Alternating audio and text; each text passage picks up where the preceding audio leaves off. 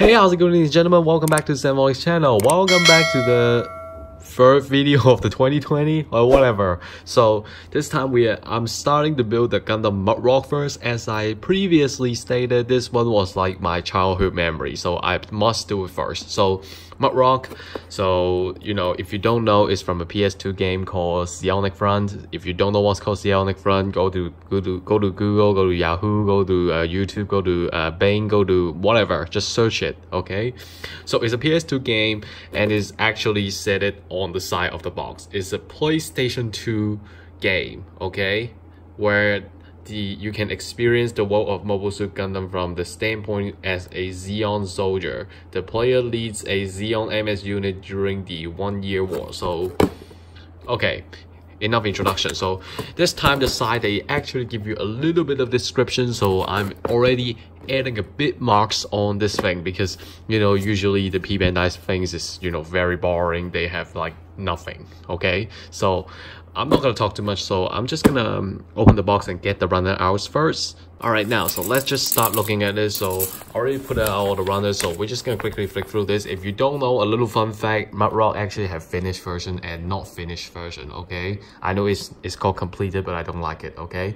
So I've been seeing some speculation about this Mudrock when it's announced. A lot of people said it would use back the G07, so the Gundam uh, G07 frame and what are possibly parts uh, is a completely wrong. It's G06 is actually a completely new mode, so don't use that speculation because that speculation is totally wrong okay? So we're just gonna quickly flick through this. So it does come with um, some parts that tell you that you can finish it with the completed and incomplete version about legs as well. And then for the weapons i think it's pretty cool as well. Uh G06 i think is a pretty cool it got like the cool uh, kind of weapons because I feel like it combined the RX-78 with Guncannon. So I feel like the idea is pretty cool and I really like the color scheme as well. So if you guys don't know, uh, a couple days ago, Premium Bandai announced that G04 is a Premium Bandai as well, which means we get the G05. So a lot of people also speculated it's G07, but I don't really uh, G07 frames, but I don't believe it. I believe it's a completely new mode, so we'll see about that. So let's not talk too much. So instruction menu, put it away first. So we a look at the A runner. So the A runner, you know, it's very colorful. There's antennas, there's the chest piece, the you know the waist piece right here this is uh, the shoulders right here the legs part and this is the backpack unit this is the waist part as well the shield um, the torso torso torso oh wait no that's waist and we have the beam rifle and then we have the thrusters right here. So this thing right here is is is com it's complicated it's mixed with everything actually. So we have two d runners so obviously this is the backpack thruster and some part of the legs armor. We have some part of the uh what's that called? Shoulder. The shoulder uh the shoulders of the completed unit and then we have the feet down below. We have two e runners as well. The e runners this is for the shoulders and for the completed version legs so that's pretty much it. That's the B1 and B2 runner because they are pretty much the same so I'll just choose one to talk. So B1 we can see that that's the huge shield right here. This is obviously the legs. This is the connector between the torso and the waist. This is the legs part right here legs part. And this is uh feet part the feet armor right here. This is the shoulders for the incompleted unit. This is the feet this is, I don't know which part this is actually. This is a beam saber. Of, of course, this is the beam saber on the backpack. So this is the arms, the, the hand, the hands armor. So that's pretty much it. And we have the C1 and C2, so I'll just pick one to choose. So C1 right here. So we can see there's a lot of inner frames right here. We have the hands option. Uh, hands option, we don't have much right here. We only have the standard weapon holding hand, so we don't have any kind of like a fist hand or open hand like that. This is definitely the backpack cannon. I can tell this one right here. I think is the legs. It might be the arms as well, but I'm really hard to tell. So I'm just gonna put a closer look. So this is definitely the hands. This is the torso piece right here. This is the, I don't know which part this is this. This is for the shield. Oh, so it does come with a trigger hand, okay? So it does come with a trigger hand. My mistake, okay? So this is this is definitely the legs part. And okay, this is basically the inner frames.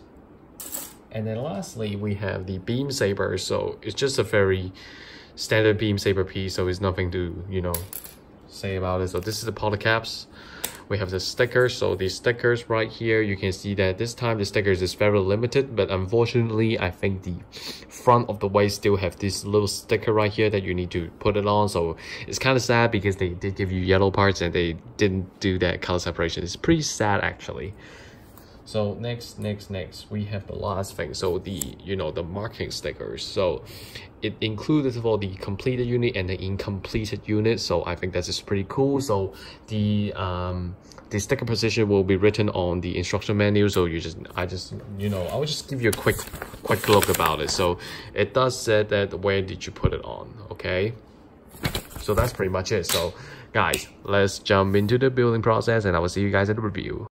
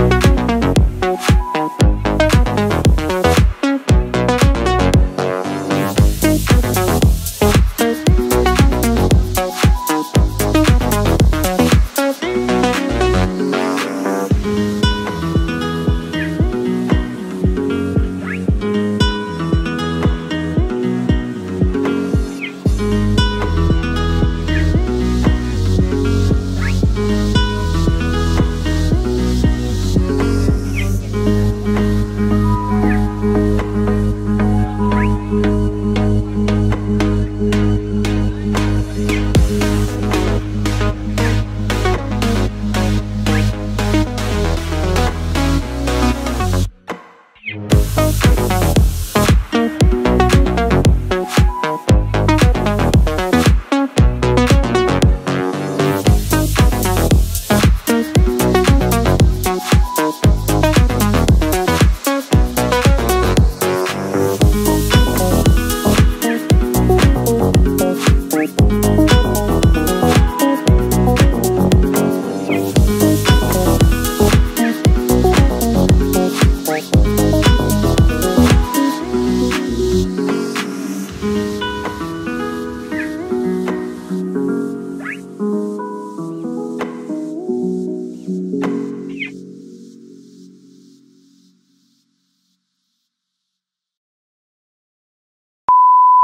guys, welcome back to the review of the Mudrock. So this is the finishing of it. So honestly, uh, I'm very happy about this finishing, but the only bastard move that the Bandai did is they put a completely new mold in Premium Bandai. I think that is a very, that is uh, very disappointing for me. So, and very disappointing on a lot of you as well, because this is a completely new mold. And I really want to say that they actually improved a lot of technology in it. And I really like it.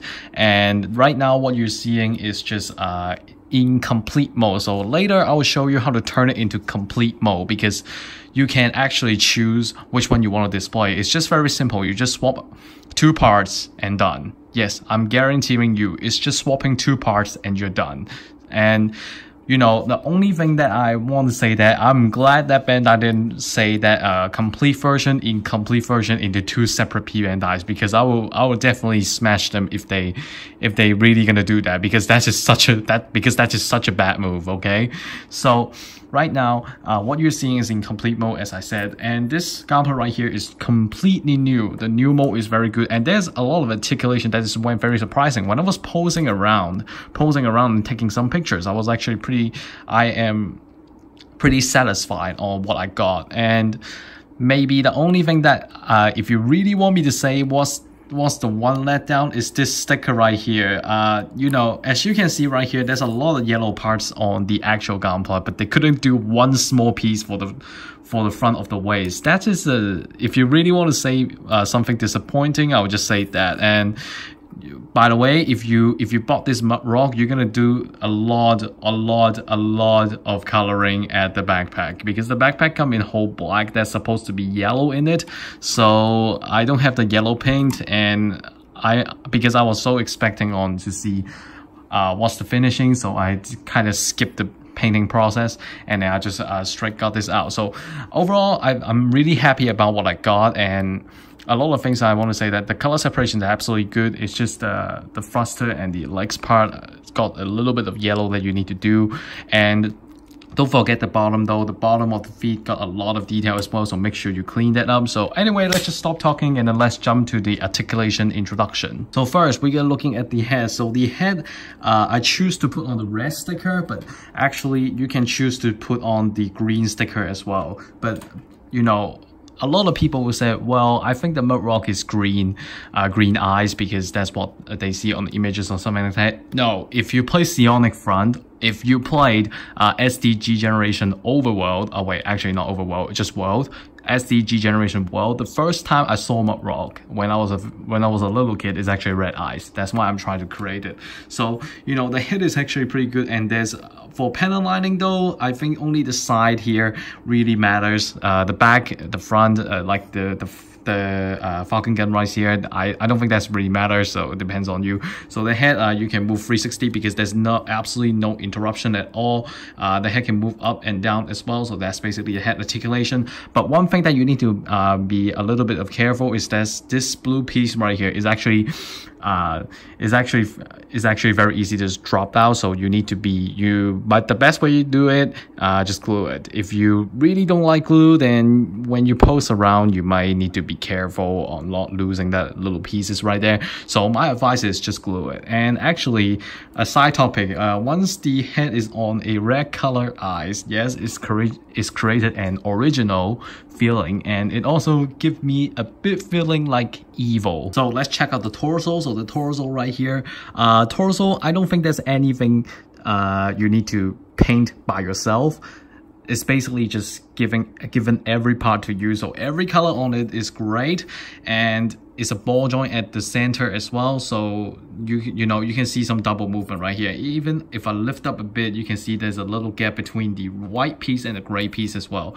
So uh, the, to the top body movement, it can move around uh, it can move 360 actually when this when all the skirt armor is not flipped up it can move 360 so I think it's pretty good for the articulation right there now let's talk about the arm so on the left shoulder is there's a marker right here on the completed shoulder. There's also a marker on the left shoulder. So just remember left shoulder always got a marker.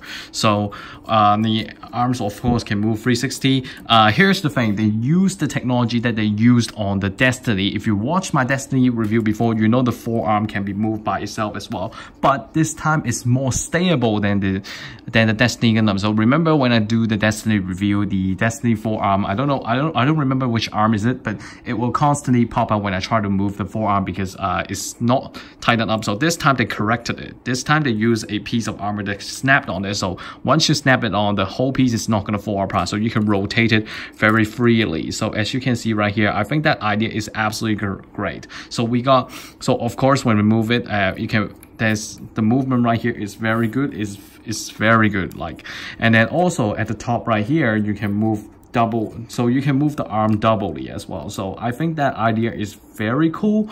Uh, but remind but i need to remind you uh, when you're moving the top of the arm right here uh, it is the like the the joint is a little tight so be careful when you move it. It's not gonna break but just be careful okay? So the arms of course is is able to lift up 90 degrees as well. So it's it's absolutely great. So right now uh, I have the standard hand on it but actually you have another option where it's a trigger hand that I currently put it on the beam rifle because I was shooting photos before. Let's talk about the lower body. So the lower body right here right now uh, let's just talk about like what parts you need to color to yellow. So this little little thruster right here. This is supposed to be yellow, but you know, unfortunately, this is a HG and the and the parts right there is pretty small as well, so they can't really do anything about it. So the lower part body though, uh, the skirt armor is a whole piece, so you can't really do like separate stuff like that. Uh, the side skirt right here, the side skirt right here is movable to uh, front, back as well, and it can lift up on the pretty. Oops,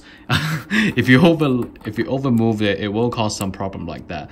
And then if we flip it to the back, uh, as you can see here, there's a, there's a marking sticker here as well, but this piece right here is not movable at all. So we we're just gonna skip to the skip to the part to talk about the articulation. So articulation kicking, so the whole MS kicking to the front is possible, kicking to the side, absolutely absolutely okay.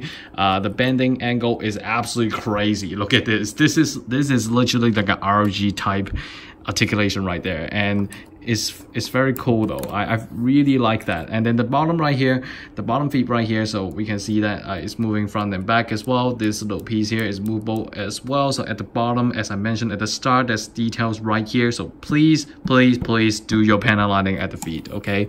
There's a lot of detail on the feet as well. So that's base, that's pretty much the feet because you you can't really kick to the back during that the back skirt is completely immovable. Now let's move on to the backpack. So they that's basically how the backpack looks like like so the backpacks if you really if you're really saying oh it looks like something so it is so the G06 idea is actually combining the RX78 with Guncannon so that's why the backpack really look like Guncannon. So the thruster right here as i mentioned at the start uh, you really need to do some painting if you looking for a absolute great finish. So right now here is just a plain black so you need to put some yellow inside thrusters. That's basically it. And you know, the one thing that I worry about when I bought this Gunpla, I was I was pretty worried about like how the cannons move. But once I snap it on, I found out that the, the cannon is absolutely stable and there's no problem posing at all. It's not like the it's not like the heavy Gundam that I reviewed before where the cannon can't even stay stay on it or something like that. This one right here is completely fine. I, I, I, can't express how much it is. So there's a beam saber on the top right here. Uh, the beam saber, you, you can just simply take it out. It's not really that hard. So just be careful when you do it. So I'll just twist it and then just pull it out. So twist it and just pull it out. So if I put it closer to the camera, you can see that you can see that uh, this part right here is already a little damaged because because uh, actually I, I must I must say that the beam sabers part, oops what's my camera doing. So the beam saber part right here is actually pretty stupid as well because they use a very soft plastic. So if you pull out the beam saber incorrectly it will break and you have nowhere to store your beam saber. So this part right here is very thin and very fragile, so please be careful when you pull out the beam saber. Now let's give a little introduction to the weapon. So first, right here we have the beam rifle. The beam rifle right here, it looks a bit different to the normal rifle in my opinion because this time it got more color than just gray or black. So the trigger hand already attached on it because I was, as I said, I was doing some photo shooting uh, earlier. So right, right now, right here, you can see that the barrel of the gun is actually uh, white and there's a part right here that you need to do some coloring so there's there's supposed to be clear green on the scope right here but it doesn't provide you any stickers so you're gonna need to do some coloring.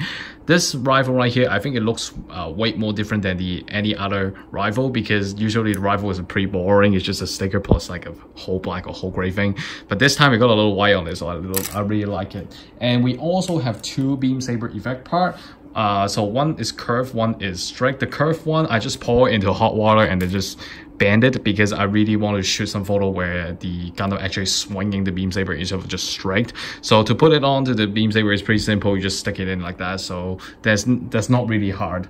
Uh, next up, we have lastly we have a shield. So this shield right here is pretty simple. It's just two pieces snapping together, the white part and the and the navy part just uh, snap it together. Uh, a symbol will be a symbol will be on it, but flip it to the back. Please don't remember that. Please remember there's a lot, a lot, a lot of details in there. So make sure to do your paneling inside the shield. Don't be lazy. Show them, show them details. To snap it on, it's pretty simple. You just basically clip it on the on the arms and it's done. So it's pretty simple, and I find out it's pretty it's pretty stable as well. Even I shake the gunpla, it's not gonna fall off. So I think uh, the stability of the shield this time is uh, absolutely amazing. Okay, now I'm gonna stop saying something very uh, you know obvious or something like that. Now I'm to show you the complete mode, how you're to switch it. So we're to starting with the arms first. So the arms is pretty simple. You just pull this off, pull this out, uh, clip the new shoulder in. done. that's that's how easy the arms are. So the arms now you can you can say you can you can you know choose between it, but I personally like the completed version. I feel like the incomplete version is too white for me, so I don't really like it and now I'm gonna show you on the legs. So the legs right here, I'm just gonna pull out both of the side first. So right now, these two pieces is actually swappable, so you can so you can choose like which type do you want. So to put this to to put back the uh, completed set on is very simple. You just need to remember this. This plain white piece right here is always always inside the Gunpla. So you know very easy. Clip it on, boom, done. And this very colorful piece right here is always facing outside. So that's basically how you switch around the completed mode and incompleted mode. So I told you it's just two part swapping, right? It's very easy. Anyway guys, this is finishing of the review. Thank you for watching. I forgot to tell you that uh, actually the completed version legs here is actually movable. I forgot to tell you that. And you know, what I want to say that is Mudrock is absolutely an amazing Gunpla. They like the articulation, the finishing, I think is absolutely amazing. So you know, the only downside of it is premium Bandai, so it's very hard for like overseas buyer to buy it. So, you know, if you see a good price, go get it. Or you can go to GenteiKits. Gentle Kids usually, GenteiKits is doing it right now. It's shipping at April. So if you if you really want to buy it and have fun with it, go to Gentei go to GenteiKits. I'll put the link at the description. Uh, you can go check it out. And then uh, I think the shipping is at April. Yes, April. So by April, you can have this awesome Gunpla. So thank you for watching. Be sure to leave a like to my videos and you know comment down below. Subscribe to my channel and then keep up. Make sure to hit the little bell next to the subscribe button so you can get notified whenever I upload a new video. Thank you for watching and I'll see you guys in the next review. Goodbye.